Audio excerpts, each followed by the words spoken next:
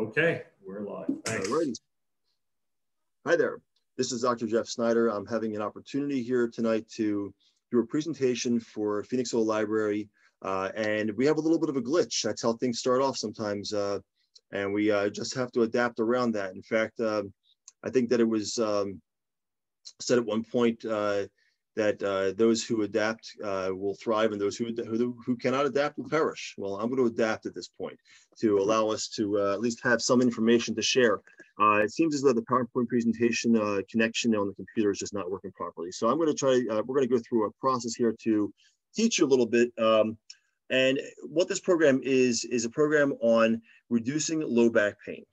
And why did I choose that topic? Because low back pain is one of those things that tends to be uh, an issue with uh, our society um, and does affect people um, at uh, as they age. And so we're trying to give some strategic uh, ways that people can manage low back pain uh, on their own for, for the most part.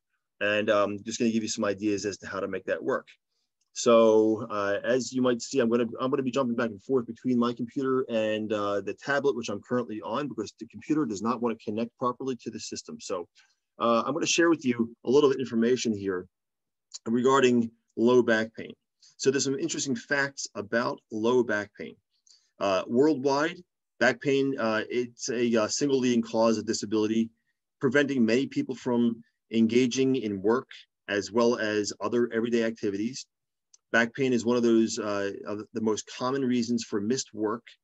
Uh, back pain accounts for more than 264 million lost days of work uh, per year. Uh, experts estimate that up to 80% of the population will experience back pain at some point in their life. Back pain can affect people of all ages. Uh, it also is um, the third most common reason for visits to a doctor's office behind uh, skin disorders, believe it or not.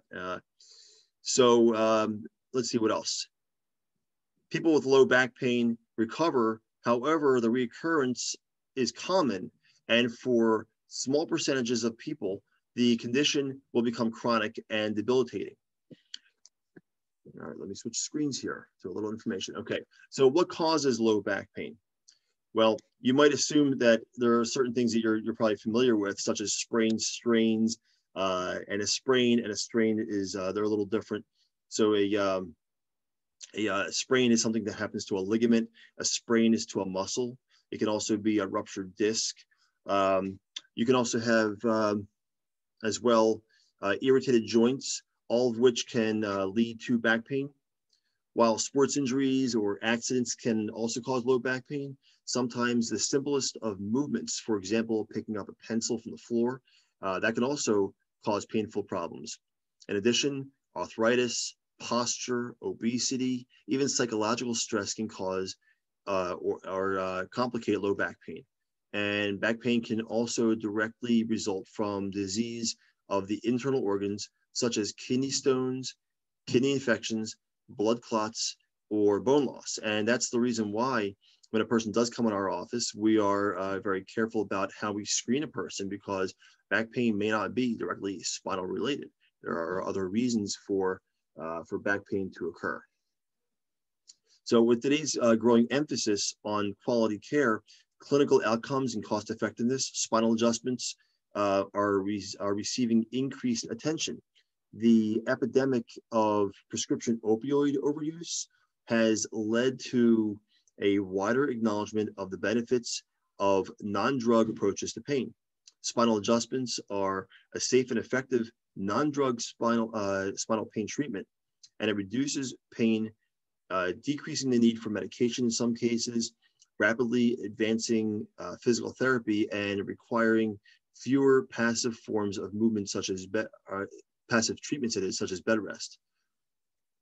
A growing body of research supports spinal adjustments um, after extensive studies of all available care for low back pain. The Federal Agency for the Healthcare Policy and Research um, recommends that low back pain sufferers choose the most conservative care first and recommends that spinal adjustments as the only safe and effective drug-free form of uh, initial prevention uh, professional treatment for low back problems. in adults. So there's uh, there's a number of studies that are out there in um, a couple different journals, the Annals of Internal Medicine, Spine, the Journal of the American Medical Association, and all are pointing to uh, various studies that do show that low back pain is effectively treated through chiropractic adjustments. And in fact, when they looked at certain studies, they saw that uh, the low back pain in conjunction with other things such as medical treatment um, compared to medical treatment alone, they found that the low back pain treatment that occurred when com when combined with chiropractic adjustments really, really made a difference. But we're not here to talk about the adjustments because that's something that would be done in our office. We're here to talk about uh, more so about um, what you can do on your own. So um, how do you minimize low back pain? Well, there's a number of different things you can do. And I'm going to just run through the list and then we're going to go back and talk about each one. You can maintain a healthy diet and healthy weight. You can maintain act, uh, remain active and avoid prolonged inactivity or bed rest. You can warm up or stretch before exercise or physical activities such as gardening or, well, snow shoveling for that matter, as we just did. Maintain proper posture. And that's a challenge to do when people are working from home. Um, and a segue for a moment, we did a program uh, a number of months back on um, helping people to uh, uh, manage their posture when at home working. So we'll I'll touch upon that in a moment uh, here. Uh, wear comfortable shoes, uh, low-heeled shoes for that matter, because that can affect the low back. Um, especially you men, don't wear high-heeled shoes. That's for sure. but no, really, the women obviously have to pay attention to wearing high-heeled shoes. And uh, when lifting an object, lift with your knees. Uh, keep the object close to your body and um, working with a chiropractor. Uh, if you have one, or if you don't have one, you can work with me, obviously, to ensure that your workstation is ergonomically correct. So we're going to talk a moment here about maintaining healthy diet and weight. And so how is it that you can uh, assess your own uh, diet and also for that matter, if you have the proper weight. So there are a couple different ways you can do so. And I wish I had my screen up right now. Uh, this is just uh, a shame that I can't show you the screen. Uh, maybe I can. I'm wondering if I could just do a, well, I'm going to try something here. We're going to, we're going to attempt to do a, to flip the screen. I'm not sure if I can flip the screen and you, maybe I can. Let's see. There is a camera. Let's see what this looks like if I do so. Just give me some feedback if you can. There we go. Look at that. I'm going to go ahead and share the screen. That works. Okay. So here we are. Should have done this to begin with. Okay, so maintaining a uh, healthy diet and weight. And I'm just going to zoom in a little bit so you can maybe see a little better. Let's see, there we go. So you have a website right there. Okay, and you can obviously screenshot that, take a picture if you want to. Um, this is right to the National Library uh, Medicine. Uh, it is a BMI calculator. So when you use a BMI calculator, you can determine your uh, based upon your height and your weight if you have a proper uh, if your weight is appropriate or not. Now there are some caveats to that, and that is that if you by chance are um, a little more muscular, then it tends to uh, not be uh, a very effective uh, use. So the other thing that I like to use is an app, and this is an app called MyFitnessPal. Um, it's a really decent app. There is a free version of that. The free version, I'm going to just switch around here on the screen for a moment. The uh, free version, uh, there is a paid version. It's fairly nominal in price, but the uh, the free version works just the same. You can uh, go on there and plug in uh, exactly what it is you're eating, and you can get a little very tedious, but you can do so. And believe it or not, there's um, just a, a slew of of foods that are listed on there, so you can put on there that you're eating um, some given brand name of some given product, and it will most likely have it there. And then you just need to know exactly how much of it you're eating. So if you don't have a scale, a kitchen scale, I would recommend getting a kitchen scale. They're fairly cheap. You can get one on Amazon for about $15. And then you can determine exactly how many ounces of chicken or how many ounces of pasta you're eating and plug it in. And it helps you to kind of manage your weight a little bit better by, by how much food you're consuming. And then there's a section on the same app that allows you to plug in how much exercise you got and what kind of exercise. So at the end of the day, you'll know what your caloric intake and output was. and determine if that's actually something that is uh, if you're if you're benefiting your body.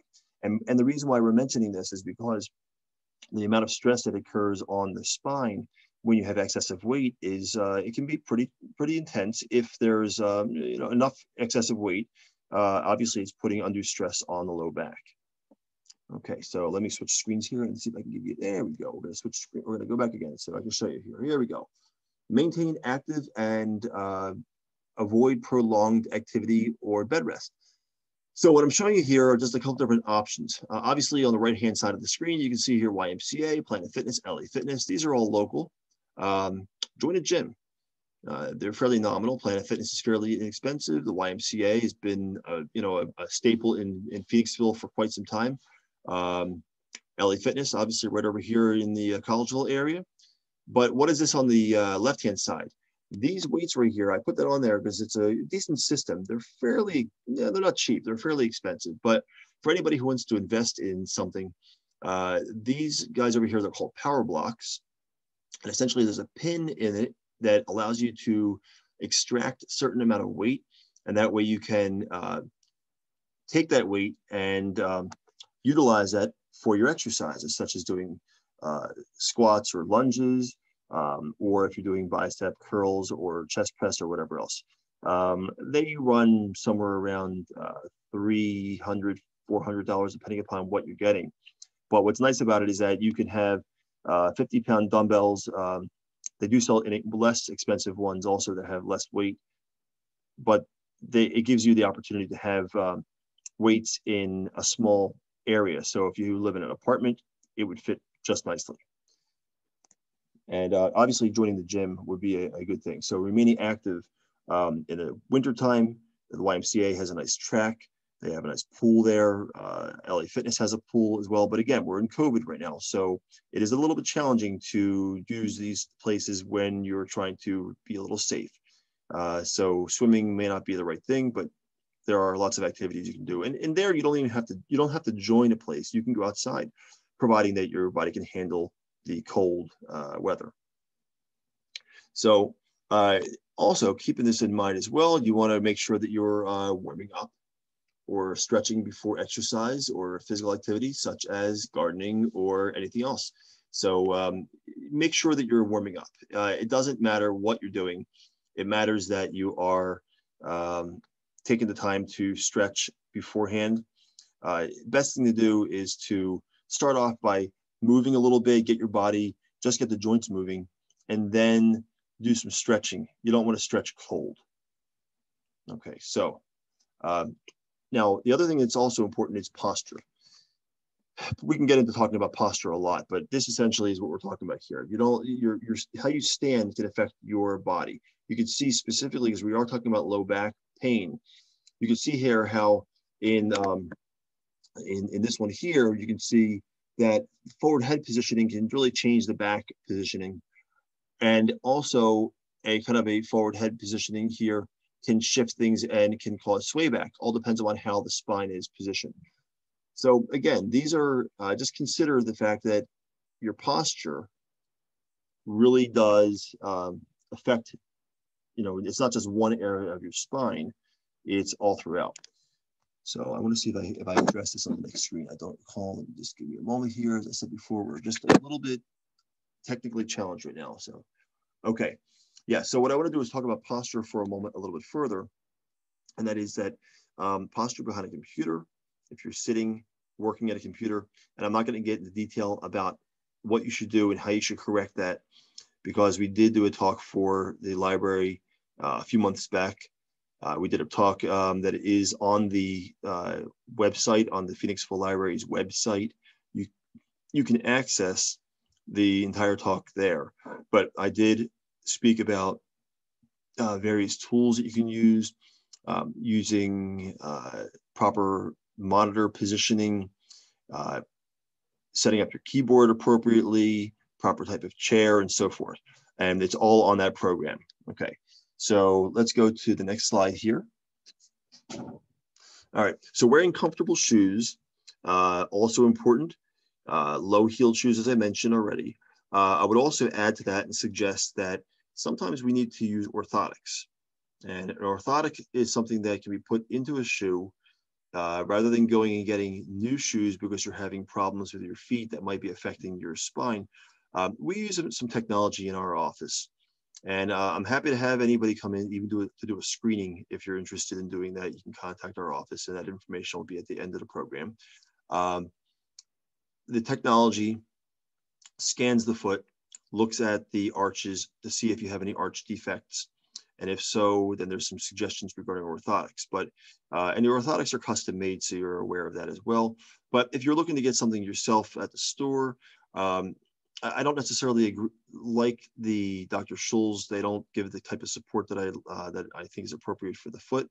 Um, custom is is definitely better, but you can find some orthotics out there that uh, do, do give some support a little bit better than, especially if you're wearing flip flops or if you wear some low profile shoes. If you're female, a lot of these uh, shoes tend to not have much of an arch support. So getting something is better than nothing for sure. But if you are looking at certain shoes uh, what has always been uh, uh mentioned, uh, and especially uh, I had spoken to a podiatrist recently who suggested that Birkenstock makes a fantastic shoe, not just a sandal. So if you're looking for something that's a little bit wider in the front, um, I would say that wearing Birkenstocks would probably be, uh, again, the, the, sandals in the summertime, shoes. Uh, they have some uh, stylish to a degree. I'm not really thrilled about the look of the Birkenstock, but they are very um, they do they do a good job. Uh, a lot of good support.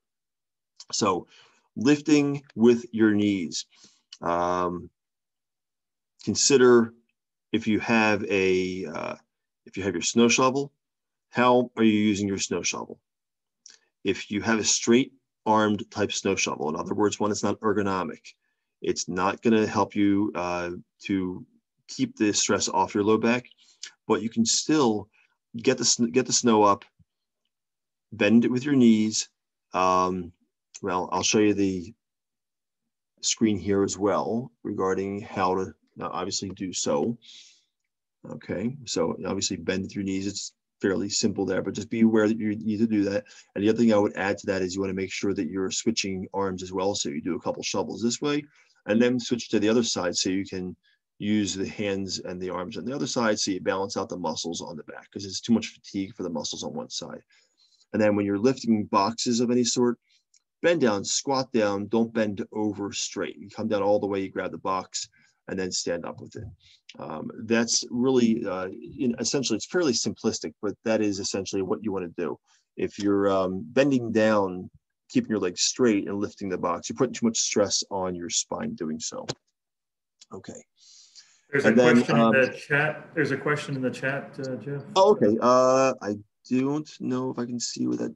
I can I can uh, read it. Uh, somebody uh, wants your opinion on ortho feet. They purchased that lately, and they want to know your opinion on those. Orth ortho feet. Yes. Is that what it's called? Yeah. I am not familiar with ortho feet, but tell you what, let me do this right now because I do not know much about ortho feet. Let's see if I can ortho feet ortho feet. Okay. And these look like they are, okay, ortho feet.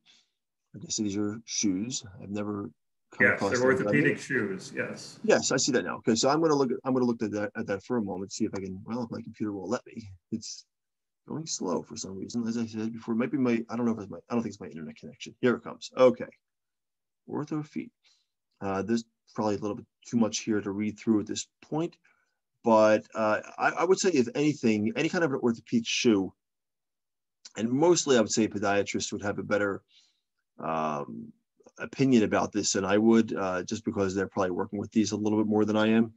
But uh, let's see, orthofeet. I don't know much about this at this point, other than to say um, I'll take a look at it. And if uh, if you, and again, I don't have. Um, let me see if I can look at the chats. I participating. Well, hold on, there might be a chat screen. Oh, chats, hold on. Okay, here we go. I do see the screen now.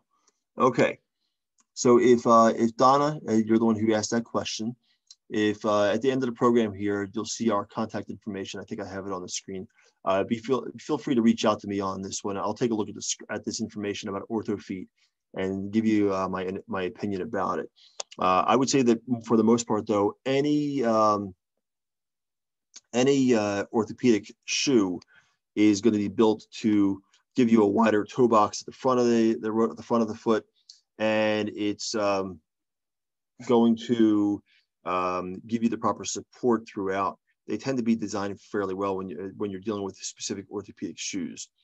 Um, but that that would be definitely something to consider.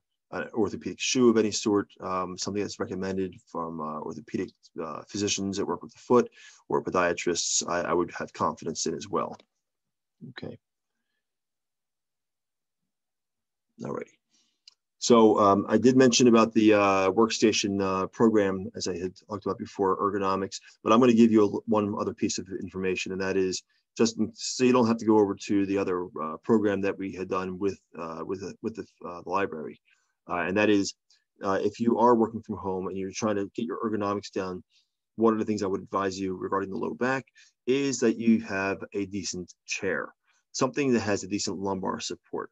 If you don't want to go out and buy another chair that has a good lumbar support, you can buy just a lumbar support, go on Amazon, find a decent lumbar support. We sell lumbar supports at our office, but there's plenty of them on, on Amazon as well. And you want to make sure that you have some decent lumbar support. And one of the keys to using a lumbar um, uh, pillow or some type of a support of some sort is that when you do put it on your chair, that you don't let it slide down to the bottom, the base of the chair. When you put it on your chair, you want to make sure that it is slightly up so that way the curve of the lumbar support fits into the small of your back. If it's sitting on the base of the chair, in other words, at the bottom of the back of the chair, then when you slide back in your chair, you're not going to be supporting your low back much at all. So when you do sit back, lift it slightly, and so that it fits, it fits into the small of your back. That would be uh, the best way to manage that. And then there are other keys to ergonomics as well. Uh, and it goes into other areas of the spine, but we're talking about low back here. So I'm not going to get into that in detail, but there are definitely ergonomic considerations for the entire spine and your hands and everything else. And I went through that program, as I mentioned before, in the program that the program that we did was called improving the home, improving the home workstation in a COVID world. That's what it's called improving the home workstation in a COVID world. Okay, so believe it or not, there's actually one other thing that I you to consider as well. And I don't know how, if anybody here that's watching this now or anybody in the future who might be watching this uh, recorded, um, if anybody smokes, you might think to yourself, what does smoking have to do with low back pain? Well, it does. Uh, inflammation, uh, the chemicals that are in smoke just wreak havoc on your body and can definitely cause problems in, in uh, messing up the disc and low back. Um, so I would really strongly advocate quitting smoking. Now, it's not so easy. Uh, there are methods out there. There's hypnosis. Uh, in fact, there's a hypnotist I know in Phoenixville that does a pretty good job at helping people in that arena. Um, so I can uh, share that information with you at a later date as well if you're interested. But I would actually recommend to you that um, you reach out to our local hospital, Phoenixville Hospital. They do a smoking cessation program. Uh, and I looked it up on their website. It's there, at least it's there listed. So I'm hoping it's current. Um, it's an eight week interactive program, which addresses the uh, three chains of addiction uh, behavioral changing skills, medication, and social support. Um, sessions, according to the website, they're on Thursdays um, every other month, and they do telephone consultations as well. And they do list their phone number, but uh, you can get that, I'm sure, by looking it up as well. Uh, smoking cessation is one of those things that I think is extremely, extremely important. It goes beyond low back pain. It goes into other areas of health. And um, so I want to make sure that that you know you address that if you are one who smokes or for that matter, well, one who choose even for that matter. All right, so there is uh, one more thing I want to share with you, and that is um, something I'm going to give to you as a means of being able to um, uh, do some exercises on your own. Uh, this is actually a grouping of exercises that I provide to our patients, and they're fairly uh, easy to do. They're not um, uh, intensely um, uh, engaging exercise is something that almost anybody can do, but definitely useful and helpful. So I'm going to ask for you if you do have your um, your phone or if you're watching it on your phone, uh, if you're watching it on your computer, great, take your phone out because I'm going to ask you to uh, point to the screen in just a moment. And if you don't have that, you can take the website that's going to be listed here and you can go to the, to the website. It's going to give you the opportunity to uh, get um, a report, uh, not a report, a, uh, an interactive um, exercise program. So if you do point your uh, your camera right at that QR code, it'll bring you right to it. But you can just take that website right there and type it into your you into your uh, your computer, and you'll get to the same page. Okay, so obviously you can pause this video and watch at a later date, or you can just take that there and just grab it and go to it. And that will give you the opportunity to get these um, exercises, body movements, stretches, movements that will help you to uh, reduce uh, low back pain uh, just by doing some exercises. And I didn't want to go over them in detail here because it would take too long to do that. But these exercises are ones that we prescribe to our patients um, just to start off. And, and if you have any kind of pre-existing conditions, um, I would recommend that you be careful when you're doing them. And if they do cause you any discomfort, that you uh, refrain from doing the exercises that cause you discomfort. Okay, so let's see here. Okay, so lastly, uh, I want to just share with you that that we're here to help our community. This is one of the reasons why I do these talks. Uh, previous to COVID, we would go out to community organizations and businesses and do talks there. Let's see here. Can the website from the presentation be put on the chat? Um, I can, well, I can attempt to do that. I don't if know if I can, can, do that. If you can send the uh, slides to me later, I can I, email them out to everybody. Would that work? That would be a good idea, Mark. I will do that. Okay. Thanks for that idea. Okay. So um, the last thing is, oh yes, you're welcome. The last thing I wanted to share with you is um, that we're here to help, as I mentioned. Uh, you may find that the exercise has helped with degree. You might find that some of these changes in, in uh, you know, having the right type of shoe or uh, exercises that you might do uh, or stretches you might do may help you. But if you're noticing that you're still having persistent uh, low back issues, or anywhere for that matter in your spine, if you're having neck issues along with low back issues, uh, as a doctor of chiropractic, uh, we've been helping our community for over 20 years in taking care of these issues. Um, I do not uh, uh, advocate uh, any kind of signing up for any kind of a long-term plan ahead of time. we don't do that in our office. I don't uh, make you pay for anything up front. That's just not our way. It's uh, inappropriate. Um, you come in, we get your history, we do an examination. I give you my best recommendation on care. And if for some reason the best recommendation is not something you can follow, then we're willing to help you however you can um, to a degree, because obviously there's a certain level of care that might still get you where you're going, but there's a, also a threshold. And uh, we may point you in the right direction of doing something different if it's not uh, going to help you. Um, in other words, if you only can come in once every few weeks to start off, that's not necessarily going to help you. Ah, look at that. Perfect. Copied it right on there. Thank you for doing that. For top, or the the uh, the, the URL is right on the chat now. Okay. So what I want to share with you is, if you are interested in coming in, uh, right here. There we go. So you can come in, have an examination consultation done. It's going to charge you $47 as our normal fee is 115 All you need to do is give us a call. I'm sorry, text that is, don't call it. You can text that number as well. Um, just text it instead. It'll be easier for us to go back and forth with you on that.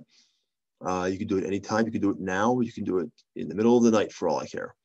Uh, you text our number, text the number, uh, let us know that you were at the program. Type, you know, just give give us the code library 21.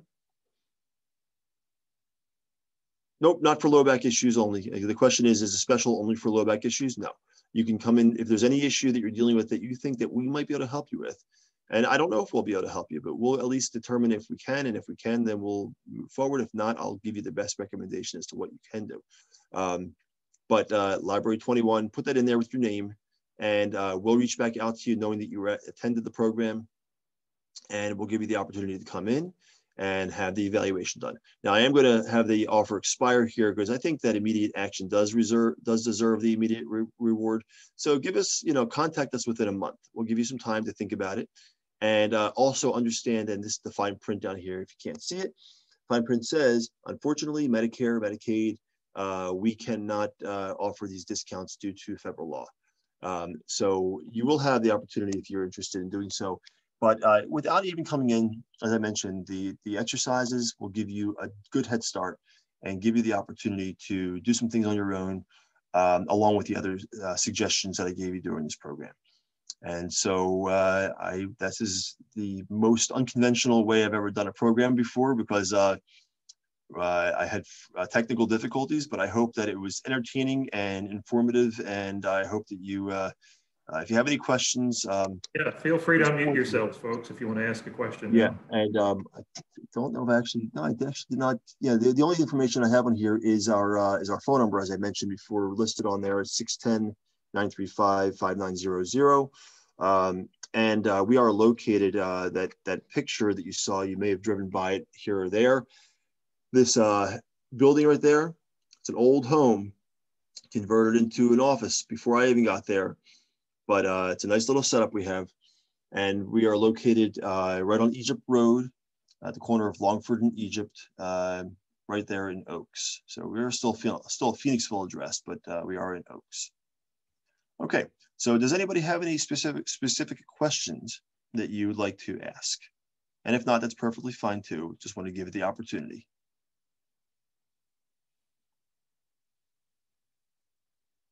I'm not I don't have the large screen, so I can't see everybody, Mark, um, who's listed on here. Okay, but that's fine. Anyone have anything? And if you have any questions, like I said before, you can feel free to contact us. But also, if you send us a message uh, via text to that number, you can post any question on there. Okay, so are there any special exercises that you recommend for deteriorating uh, discs. Uh, let me let me go back over to that because that question just. Let me go back to the chat screen for a moment. Okay, deteriorating disc uh, disc four and five, like L four and L five. Um, so some of the exercises that were on the program that I provided you, there's a um, there's a uh, uh, there's a few exercises on there that will allow you that will give you some support in that low back. But there are some specific exercises for uh, lumbar uh, issues. If you want, if you want to, uh, when you contact me, send me your email when you do contact um, via text, and I'll be happy to send you over some specific exercises for disc issues. Um, these exercises help with age-related arthritis. That's another good question. Age-related arthritis. Well, arthritis is something that occurs as a result of poor biomechanics in any part of the body. It can be, oh, you're welcome, Kara. Um, age-related arthritis can happen in any part of the body if mechanics are not moving properly, joint, bio, joint biomechanics are not moving properly. And so will the exercises help with that alone? It will help to support to a certain degree. And by that, it will help to minimize the discomfort but will it help to do anything for the arthritis directly? No, not for the arthritis. Um, joint motion, in other words, adjusting in the spine or any joint for that matter in the body, shoulders, knees, wherever else, can help to realign the, the spine. And then there's other things that need to be done to help to um, manage the curves in the spine as well. Uh, and it depends upon if it can be done. Sometimes age-related arthritis has already gone too far. It's kind of like uh, if the front end of your car is misaligned uh, and the wheels have worn a lot, you you have to replace parts in order for the body, in order for the car to, to work properly. Well, you can't replace parts in your body so easily. So you have to make do with what you have at given point. So um, the answer is that you can do stretches and exercises that will help to support and reduce pain to a degree, but it won't necessarily affect the arthritis. Hmm. So fibromyalgia, um, stretching. That's really the the issue there is stretching, supporting the body and, strengthening and stretching. Um, but is fibromyalgia is a little more complex. I wouldn't say that just exercise alone is going to help with fibromyalgia. There's there's it's multifaceted. Um, adjustments really help a lot with fibromyalgia because it is a neurologic type of an issue, and chiropractic adjustments help to uh, effectively modulate the nervous system to help the body to uh, uh, to help the nervous system to function better. So uh, fibromyalgia really does, we get some good results uh, through chiropractic intervention through adjustments, but there's also uh, nutritional considerations as well as as well as stretching. Hope I answered that question for you. Okay. Um, all right, are there any other questions? Feel free to come on screen or you can type them. Okay. All right, I'm not seeing any more. Uh, there we go. Okay. Okay. Oh, so nutritional considerations for fibromyalgia is that we're that's what we're talking about there. Um, inflammation. Inflammation is the is the issue with fibromyalgia, uh, as well as other uh, type health issues as well. So it's really about um, reducing inflammation in the body is uh, in, a, in a nutshell. And how do you do that? Well, there are certain foods you want to avoid, omega-6 type foods, uh, fatty foods, uh, fried foods, uh, white flour, uh, sugars, things like that. That's going to help to reduce inflammation. But also, if you ingest, if, if you also um, include in your diet foods that are more omega-3, so um, you're talking about like fish, um, salmon, but also supplementation. Um, you can you can use uh, curcumin, which is in um, what's the spice now? Curcumin is in um, not curry. It's in turmeric. Ah, there you go. Hey, you, you beat me to it. Um, yes. So turmeric, uh, but you get certain quantities. You want to have a little bit more curcumin. So there are supplements that you can take. Garlic is fantastic as well. Ginger is fantastic. Uh, there's a number of different anti-inflammatory foods that you can use in your diet, but really it's about cleaning up the diet, getting rid of junk food, uh, and and people that dem- generally have fibromyalgia have have learned to a degree that, that they that they should do this, uh, at least that I've come across. Um, the question is, is it easy to do so? It's obviously challenging in our in our world of delicious food that you can come across, and uh, so I, I, would say that trying the best you can to reduce inflammation would be uh, one of the one of the things regarding nutritional considerations. I have a question. Yes. Oh, it's echoing. Um, thoracic back. Yes, Donna. Exercise for thoracic. Exercises for the thoracic back. Okay. Um, you know, we we could definitely get into that. Um, there's a um, there's exercise for every part of the body, really. Uh, and and the question is, what kind of exercises can you do? Well, it depends upon your circumstance, really. Um, and I don't know your specific situation, but uh, if I had to pick up one exercise for the for the thoracic spine, um, I would consider the idea of doing rowing. So using a rower, um, using some weights, and uh, kind of um, let me put this down for a moment so I can kind of show you, like using the weights and pulling inward like this. So if you're using weights, you can use bands. You can use um, hand weights by bending over and pulling upward. That would also work the back. But if you have a rower or access to one, that would probably be my go-to exercise for for the thoracic spine area. But again, the question is, is that going to help the problem by itself? I, I don't know. Uh, I would say that if you're interested in looking further into this a little bit more, talk to me and we can investigate this together. Okay, thank you. You're welcome.